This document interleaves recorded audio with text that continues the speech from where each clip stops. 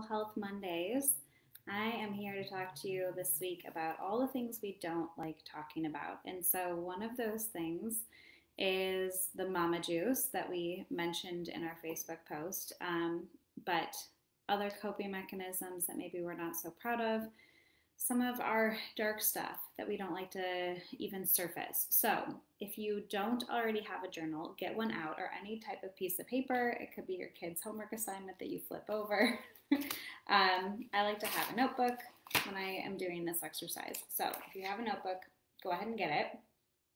And with your notebook, I'd like you to draw an upside down triangle. And so um, you can do it across the whole piece of paper or just make a little one like this. There we go. All right, upside down triangle. So we're going to start today with understanding our different parts within this shame triangle model that we work a lot with our clients on. And it's one of the fundamental lenses that we use here at Reset to start to dig a little bit below the surface and understanding some of our stuff that we've buried, we've hidden, we have avoided, we've numbed out. Um, so with this triangle, in the upper right hand corner, I want you to write the word ego. In the lower uh, tip of the triangle, I want you to write the word shame. In the upper left hand corner, I want you to write the word rebel. And then in the middle of the triangle, go ahead and write your name. Okay, so this is what it should look like. Ooh, there we go. Okay.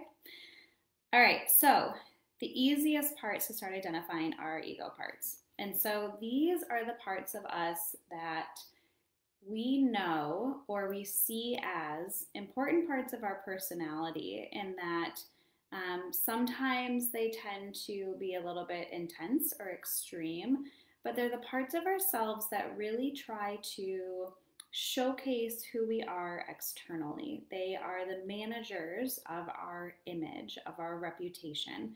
And so these are things like um, mm, people pleaser or uh, type A, controlling. I'm saying some of mine. um, a planner, um, maybe perfectionist is a good one to put on this one. Um, I'm going to put dieter because it's about restriction and control. Um, it could also be words like uh, overachiever. You get the idea, all right? So, again, these are the parts of ourselves that is managing how we represent ourselves out there in the world. Um, it could be like the fashionista, right? Or the person that talks a ton, or things like that, okay? So then we're to go over to the rebel. And the rebel is the parts of ourself that tend to say, all right, I can't, this is too much, I can't keep sustaining this pace. I have um, a level of burnout approaching. I'm feeling overly stressed. I don't like having all this control. It just feels too much. Like how the ego parts eh, basically are in a pressure cooker. And the rebel's like i'm releasing that lid. Like let's let the lid off of the instapot because i can't. This is too much. I feel like i'm going to explode. And so these are the behaviors the rebel engages in that allow us to let off the steam right? To relieve the pressure. And so these could be things like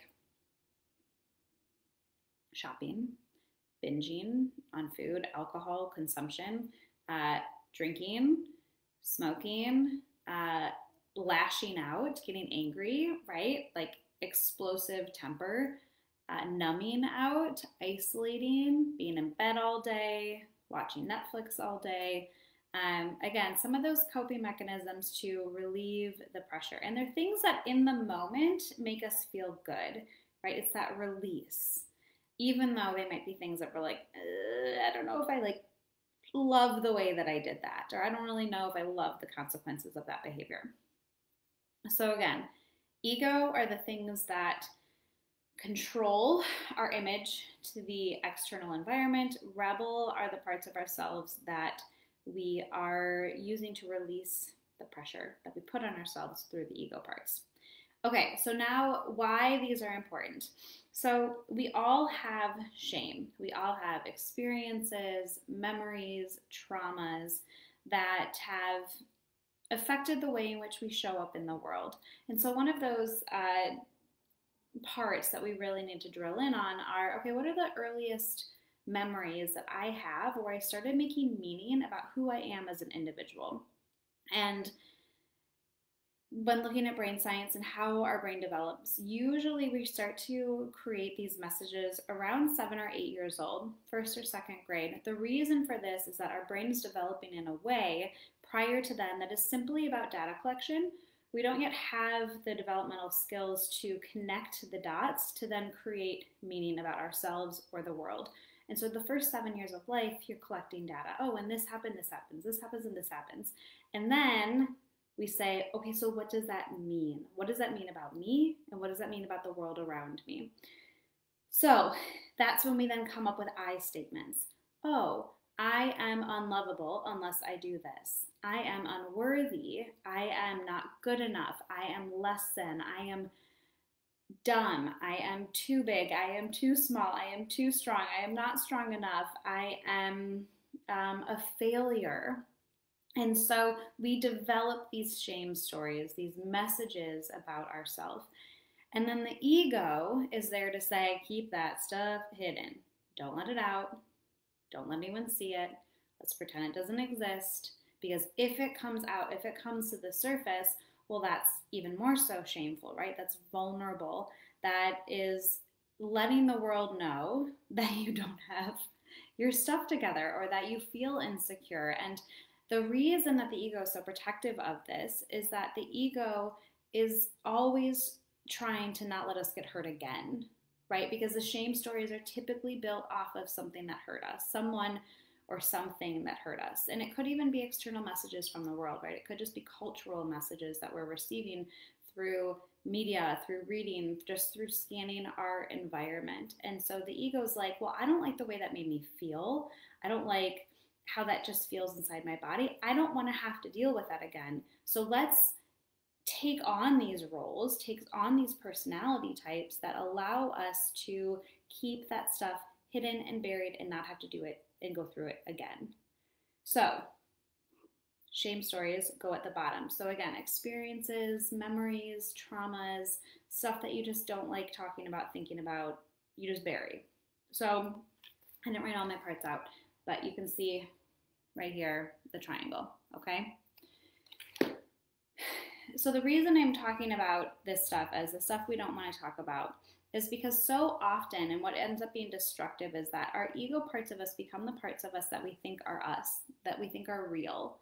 And they lead us to continue to behave in a way that keeps us on a hamster wheel, keeps us at a really high hypervigilance and stressed out level uh, that essentially leads to burnout. And not only that, it's acting inauthentically. It's not actually who you are, it is simply a part of you. In that, if the shame story was resolved, if the trauma was healed, you might still be someone who is a future tripper or someone who still likes to have control, but will it not be in such an augmented way in which you end up suffering at the at the cost of it right? So that you won't need this rebel part of you that needs to just release steam and to cope and to just completely try and balance out the pressure from the ego. Because these parts of us are actually beautiful and they have a lot of purpose, right? Like I I like the fact that I can be somewhat controlling because I just, it makes me feel a little bit more grounded and I just like how I show up in the world in that way. But when a shame story is exacerbated, like the I am a failure shame story is exacerbated, my ego part of control just like skyrockets. And then I start micromanaging my team, which they will admit that it happens. Or I'll go in and I'll like, there were times in my life when I felt so ungrounded or my shame stories have been so triggered that I literally would like plan to run a marathon and put together the entire training uh, document for it. Like I had a spreadsheet and I would document every single detail of the training program, never actually running the marathon. it was just like the joy of planning something down to the details.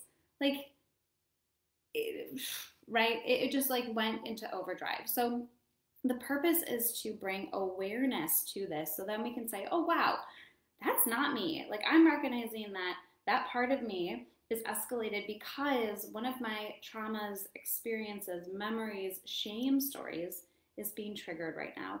And then why? Because also, what happens is we don't want to gauge in too much of these rebel behaviors that we end up. Ooh, I can't write backwards right now. There we go. We end up going back to the shame, right? The shame gets reignited again because we engage in a rebel activity that then says, oh, here I go again. I'm not good enough. I'm a failure. Look at me. I'm self sabotaging. And then this kind of cycle continues. Hopefully, this makes sense. Drop questions if you have questions. This is a lens for understanding ourselves, a lens for understanding who we really are. Because here's the thing when this stuff is not ignited, this is who we really are. It's in the absence of some of these parts that then we gain clarity on who we really are. And the practice of this, because it is a practice, everything is, is the ability to step back and say, okay, if I am if I am noticing my reaction right now, if this need to mm, control the situation right now is because of one of my shame stories is being ignited. Okay, can I step back from that, observe it, and figure out how to heal and rectify that in the moment so I don't end up going down this traditional and familiar role that leads to my burnout and dissatisfaction in general. Or let's say we're engaging in a behavior like drinking too much, too much wine at the end of the day. We're able to ask ourselves and sit back and say, okay, what's actually going on here? Where am I building on too much pressure, too many expectations? Where am I having unrealistic expectations because of behavior that has led me to overdrive because of a shame story of not feeling good enough or of comparison or feeling like I should be better at this, I should be doing better. And therefore, I feel the need to cope through drinking, smoking, shopping, whatever it is. And so, this is not to say that the coping mechanisms are all bad and that everything in moderation ends up being somewhat okay. But when you're recognizing that you're pulling towards one of these coping mechanisms, one of these release mechanisms more often than maybe you would like to, or you feel like is healthy for you, and you're realizing that you're doing it to compensate for maybe a lot of the pressure you're putting on yourself, well, then it's time to look back and try and be objective and just to observe and ask yourself the questions and say, okay, what do I actually need in this moment? What do I really need? What is being triggered right now? And is it a story that I've been creating and reinforcing for the last 35 years? Is it true? Is it not true? Again, we kind of start to do this reflection with ourselves because ultimately we want to end up here in the middle. And that's that's just us. That's who we are in the absence of triggers, in the absence of reactive states. And so the more that we can fall in the middle, and we can be conscious and observational about our choices and our intentions, well, then the more that we're going to feel more genuine, more satisfied, more secure, more confident, and more content within ourselves. If this is something that you want to dig in further, please drop us a line, call us, connect with us at any point. We love working with this shame triangle system, again, to build that awareness, to be reflective, and start to just uncover some of the stuff that we've buried that has manipulated who we think we are for decades and being able to unravel that and say wait a second i think i, I think this is actually all based on this thing. And i want to rewrite the story because i don't like who i am anymore and i don't like who i'm becoming and i don't like some of my coping mechanisms i don't like some of my habits. All right? When you're doing this please be compassionate with yourself it's incredibly important to be forgiving, compassionate, understanding you are doing the best you could in the moment. All right.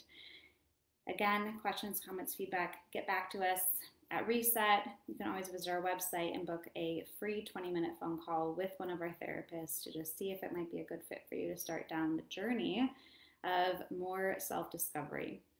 Thinking of all of you today and always. Take care. Happy Monday.